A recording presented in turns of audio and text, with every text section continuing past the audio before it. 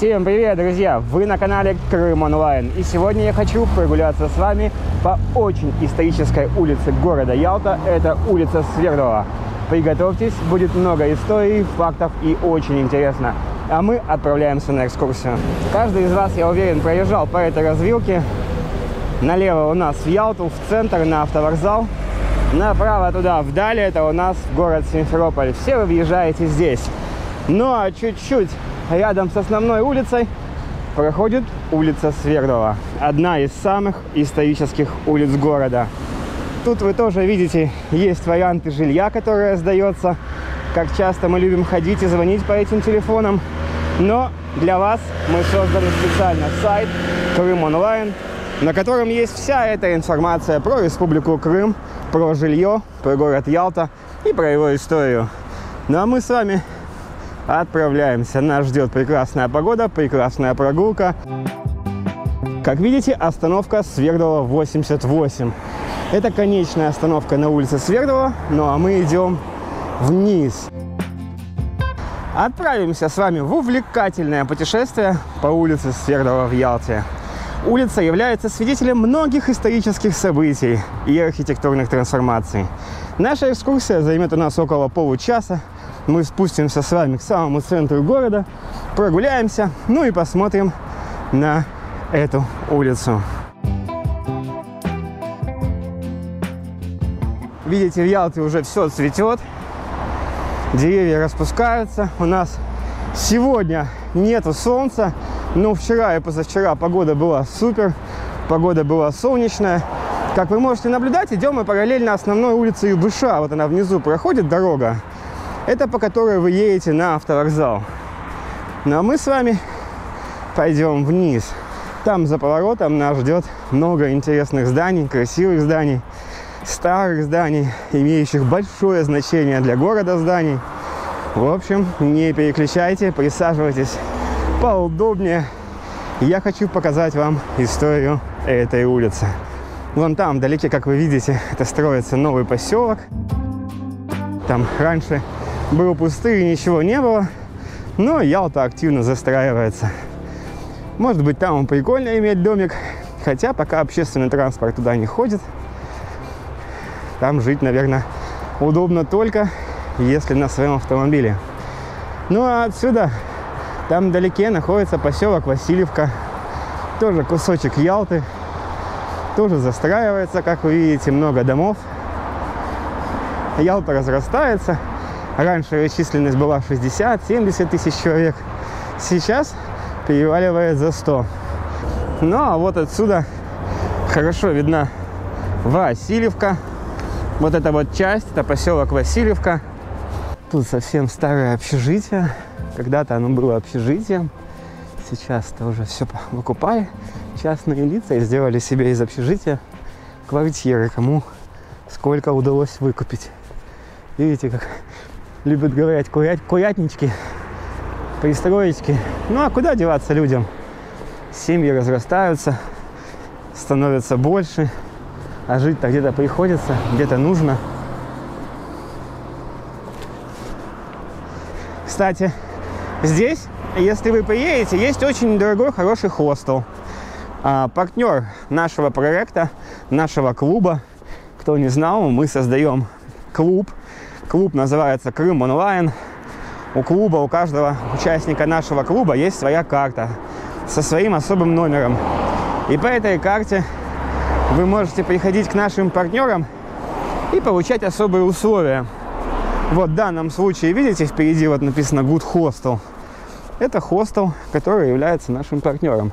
И если вы к нему придете по нашей карте, то получите скидку, по-моему, 10% на заселения. То есть, если бы вы там заплатили, к примеру, по 1000 рублей за 10 дней, 10 тысяч, то с нашей картой вы заплатите на 1000 меньше. Мы стараемся сделать для вас отдых комфортнее. Вот, кому интересно, можете номер записать. Good Hostel. Вот это партнер нашей карты. Это, по-моему, 51 53 дома, номера домов. Здесь вот большое здание «Эгоист». Это, по-моему, Свердлова 48. Да, точно, видите, вот написано. Свердлова 48. Это, по-моему, кстати, тоже историческое здание. Не буду точно говорить, не знаю, но исторические у нас вроде ниже начинаются. Это более новые здания, но тем не менее. Вот у нас уже слива, смотрите, цветет вовсю. Скоро будем кушать дикую сливу. Как мы привыкли это в Ялте. Идешь по улицам, у тебя фрукты растут. Сливы, абрикосы. А вон, смотрите, в покрышках люди сделали клумбу и высадили кактусы. То есть у нас кактусы цветут просто даже на улицах. Это улица Свердлова. И здесь мы видим кактусы. Так, ошибся я с номером? Нет, смотрите. А, 83 дом. Это 83 вон адресный аншлаг, улица Свердлова, номер 83. А вот эгоист, все правильно я сказал, номер 48. Но это уже та часть верхней улицы, которая достраивалась в период современности. Ну, а там ниже, там, конечно, есть совсем-совсем старинные здания. Когда мы с вами подойдем к ним, я обязательно вам покажу их. Пока мы идем, расскажу немножко историю. Улица Свердлова изначально называлась совсем не так. Изначально она называлась улица Почтовая. И была одной из первых улиц, проложенных в Ялте. Ее история началась в 19 веке, когда она стала важной транспортной артерией, соединяющей центр города с портом. Улица Почтовая, как она раньше называлась, и важность ее пути доставки почты имела критическое значение для города. То есть здесь, как основная улица, по которой можно было добраться в центр и в порт. Основная артерия Ялты была на тот момент эта улица. Сегодня улица Свердлова. В начале 20 века она получила название Симферопольская, подчеркивая связь Ялты с крупным административным центром Крыма.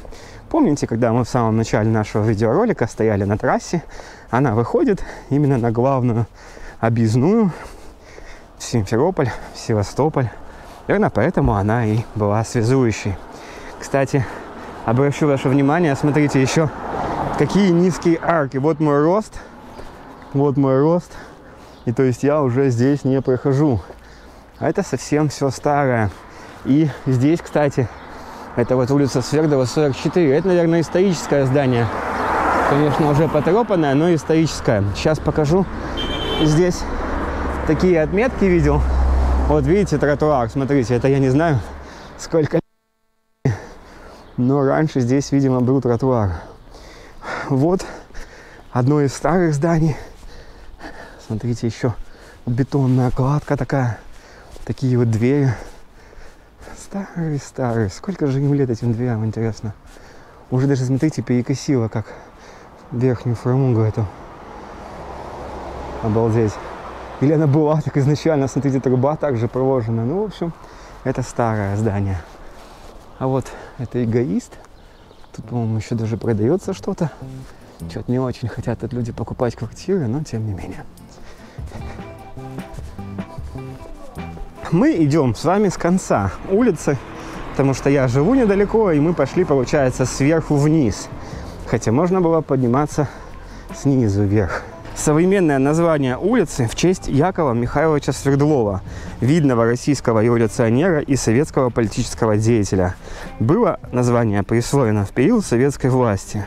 Улица Свердлова проходит от улицы Рузвельта до Южнобережного шоссе, является одной из первых улиц, заложенных в исторической части Ялты. Ее протяженность и расположение делают ее ключевой транспортной артерией, как я вам говорил. Течением времени улица потерпела много изменений, но всегда сохраняла свое значение как центральная ось Ялты. По этой улице до самого центра можно дойти минуток, наверное, за 15. Ну, 20, если совсем не спеша.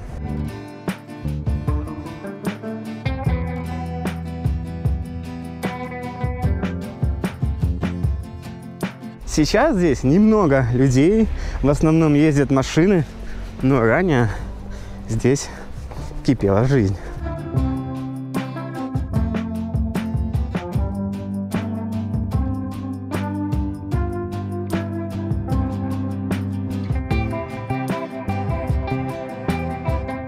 Сейчас вот там вот мы зайдем с вами во двор улицы Свердлова и покажу, там вообще старые-старые классные здания есть. Название улицы неоднократно менялось. Со сменой властью менялась и улица. Название, точнее, улицы. Но улица Свердлова прижилась и так называется уже давно.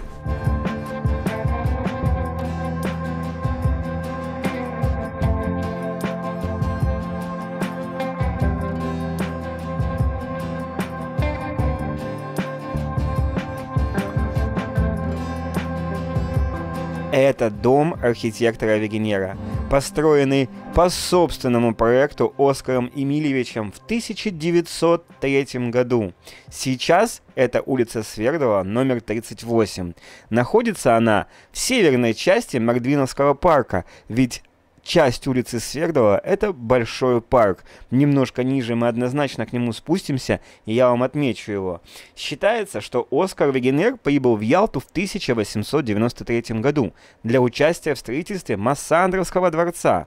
Когда архитектор приобрел участок под застройку в хорошей пустоши, в одном из наших видео я рассказывал, почему именно хорошая пустошь, Будет интересно, посмотрите видео про историческую Ялту. При проектировании и строительстве архитектор дал волю фантазии. Размещенные на фасаде два вензеля монограммы с немецкими буквами O и W, первые буквы своего имени и фамилии. Оскаром Вегенером – Металлический герб на балконной решетке с изображением треугольника, циркуля, линейкой и транспортира. Некоторые усматривают в нем масонскую символику. А что видите вы в этом? Напишите в комментариях, очень интересно ваше мнение.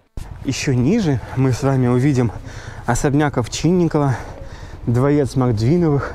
Кстати, мы снимали и попали внутрь дворца. Кому будет интересно, на нашем канале обязательно посмотрите видео про дворец Мордвинова. Прогуливаясь по улице Свердлова в Ялте, вы встретите множество исторических значимых зданий. Каждое из них внесло свой вклад в развитие Ялты, истории ее, формирование как города-курорта.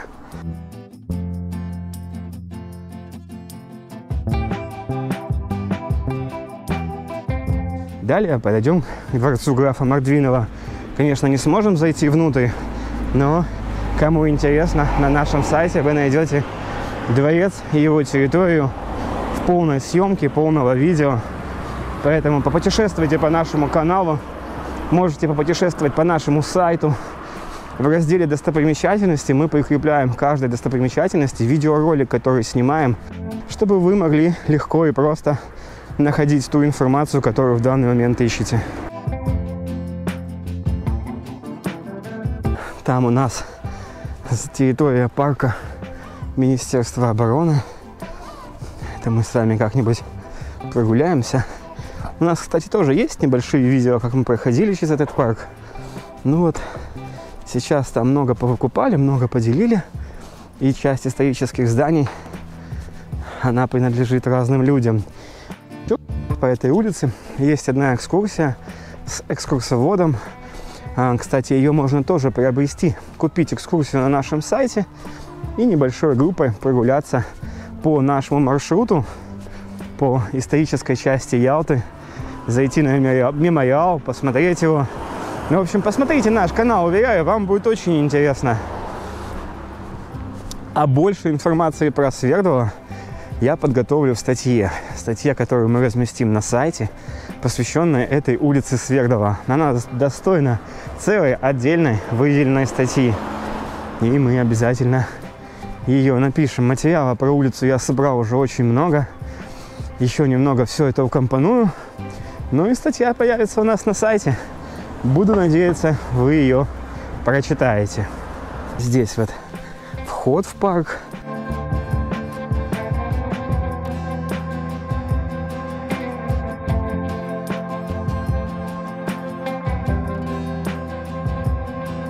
Уже первый посетитель.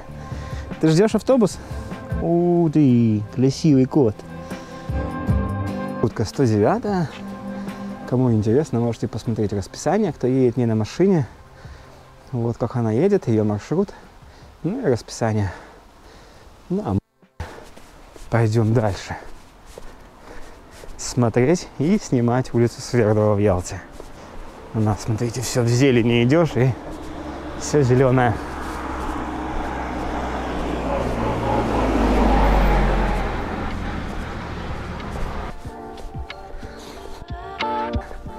По-моему, автобусный парк был санатория Министерства обороны.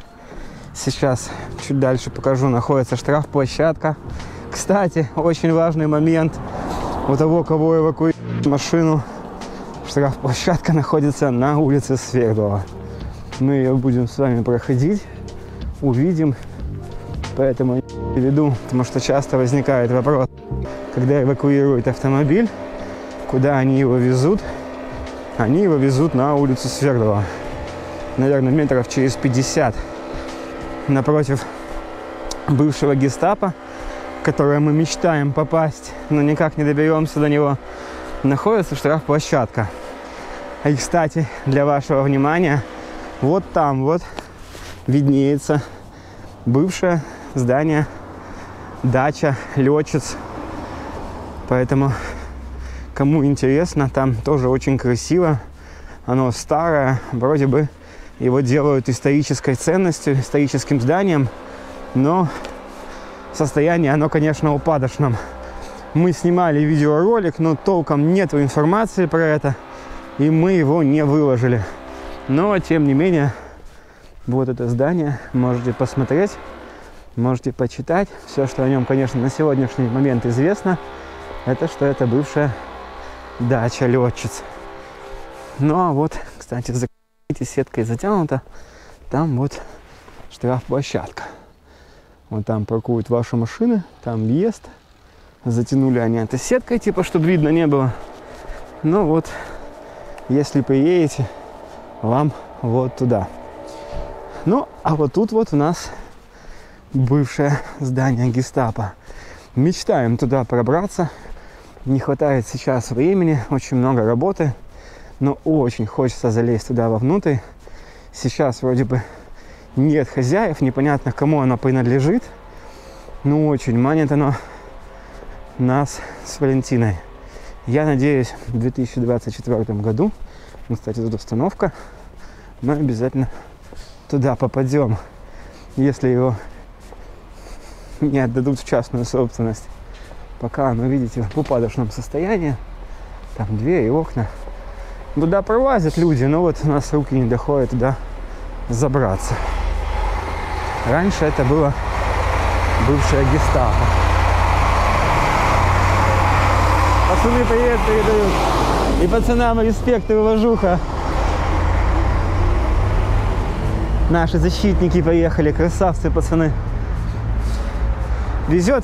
Благодаря таким ребятам мы с вами можем гулять и любоваться улицами Свердлова, смотреть экскурсию.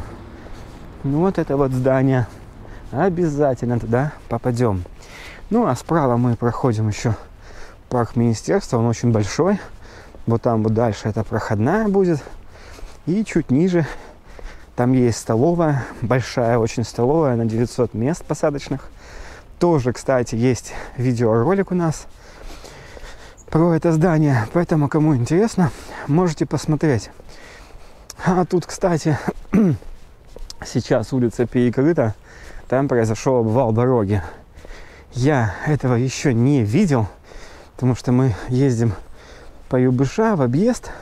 Ну, очень давно здесь, кстати, перекрыта дорога. Там произошел какой-то обвал, и мы с вами это увидим. Я не знаю, блогеров никого я это не видел, кто снимал это место.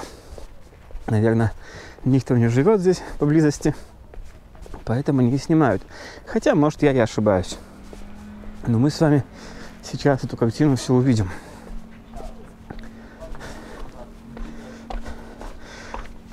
Вот тут вход, были ворота, а вон там вот дворец Макдвинова. Здесь, кстати, еще и остановка есть. И вот здесь две маршрутки ходят. То есть здесь 14 ходит и 109, как я вижу.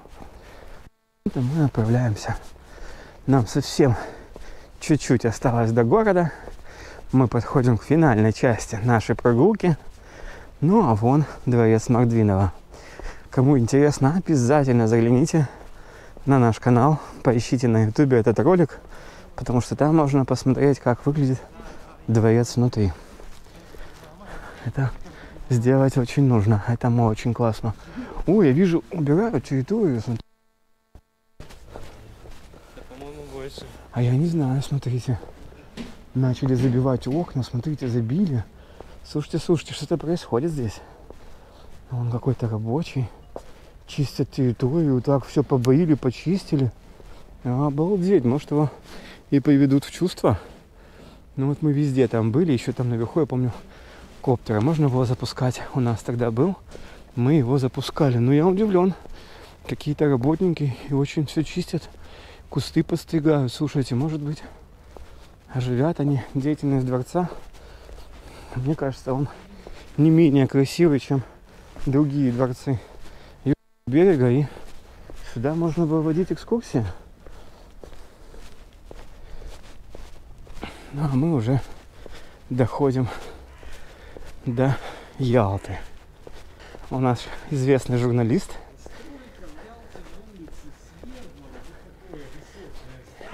Ответственный гражданин. Где ж мы могли с вами еще? Ну, может быть. Вы сейчас спешите? Пишу, нет. А, Ну, а как, да, в два часа у меня автобус. Борется Сергей Александрович постоянно с такими вот постройками. Вот активный гражданин нашего города. Сардыка Сергей Александрович. Кому будет интересно, можете посмотреть. Он свой канал тоже ведет. Ну вот, видите, он неравнодушный к этому всему. И я согласен с ним, что такое здание не должно стоять. Оно стоит уже много лет. Но мы не можем на это повлиять. Ну а Сергей Александрович руки не опускает. С этим борется. И я думаю, что у него может все и получится. Его или узаконят, или снесут это здание. Боитесь за снос, да, Сергей Александрович? Да нет, я, чтобы хотя бы ворота были закрыты. Чтобы дети не залезли. Ну, конечно. Ну, я же говорю, активная жизненная позиция. Сергей Александрович молодец. Тоже его заинтересовал обвал. Сейчас мы пойдем вместе посмотрим это все дело. Потому что вот меня интересует, почему так долго никто не реагирует и не чинят там ничего. По факту улица заблокирована и пройти по ней проехать невозможно. Я не знаю, почему я не вижу прям грандиозного что-то, но этот обвал уже, наверное, месяца полтора. Месяца полтора никто не берется за его восстановление. Я не знаю, опасно ли это дело здесь ходить или нет. Ну вот туда ушел. Ушла дорога, видите? Вот такое вот произошло. Но тем не менее, то есть два месяца на это никто почему-то не реагирует. То есть вот маршрутки здесь не ходят, маршрутки объезжают. Все вынуждены теперь путешествовать по другой улице. Ну а администрация Ялты почему-то не хочет на это реагировать. Забросали так мешочками все. Так вот, конечно, обидно. Долго, долго все это происходит и почему-то не делают. А администрация Ялты, может отпишитесь, скажете, почему, почему так долго. Бюджета не хватает. Или налогоплательщиков в Ялте мало. Ну, понятно. Ну, а мы с вами пойдем дальше. А вот типография моя будет. Давай. Да. да. Есть три минуты? Да. Ну, Ну, сейчас, быстро-быстро. Пошли туда Давайте. тоже отснимем. отснимем. Я сейчас по 30 секунд делаю. Хочу добавить важный момент. Здесь раньше находилась типография, называлась она Тавая. Вот мы с Сергеем Александровичем встретились, он говорит, давай пойдем туда, посмотрим, что к чему, мол. Она разваленная сейчас, ну а раньше была градообразующее предприятие. Вот как раз на улице Свердлова. Сейчас мы с вами это все посмотрим.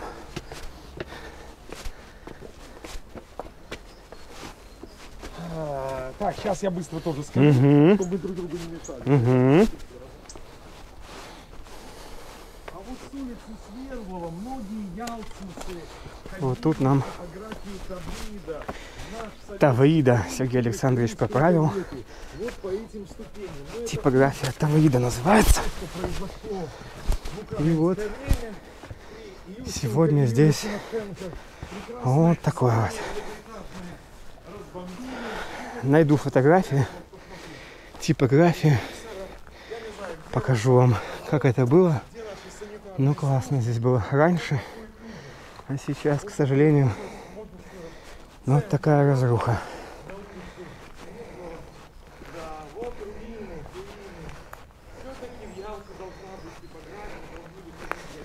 Представляете, сколько печаталось, сколько здесь было рабочих мест. Ну а сейчас вот такой развал. Обидно. Ну, пойдем дальше. Здесь 7 этажей здания было. Семь этажей Семь здания. этажей, Да, это специально для типографии. Они же не могли ничего с ним сделать. Это чисто для типографии, то есть бетонные стены, вот это все. Ну, жуть. Вот Сергей Александрович печатался здесь, все знает. Говорит, 7 этажей, представляете, здание было. Найду фотку, обязательно прикреплю. Оно имеет значение к этой улице, к нашей Свердлова, поэтому обязательно покажу вам. Ну а сейчас, как я вижу, здесь Кашикан сделал столовую. Ну тоже братьев наших меньших под Ну, срач, конечно, неимоверная. Ну ладно, отправимся.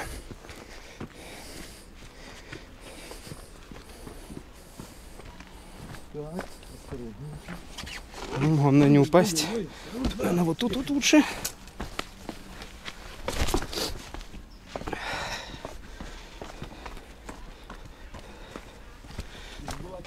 В советское время обкома партии. Все здесь умно, умно сделали. Ой, как же. Для Сергея Александровича это прям воспоминание истории его молодости.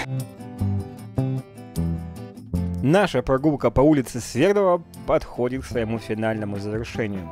Ну а тут вот вроде бы адрес Свердлова 31. Хочу отметить такую картину. Вот смотрите, здесь старое историческое здание, и оно поделено между двумя хозяевами.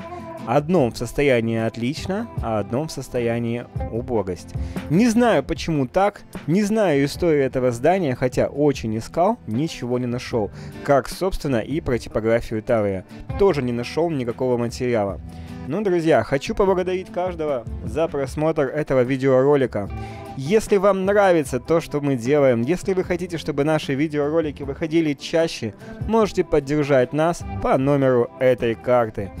Ваша поддержка нам сейчас необходима. Благодаря вам мы продолжаем делать проект Крым Онлайн. Благодаря вам мы можем снимать видеоролики, путешествовать и делать Крым лучше. Спасибо каждого, кто нас поддерживает. Спасибо каждого, кто нас поддержит.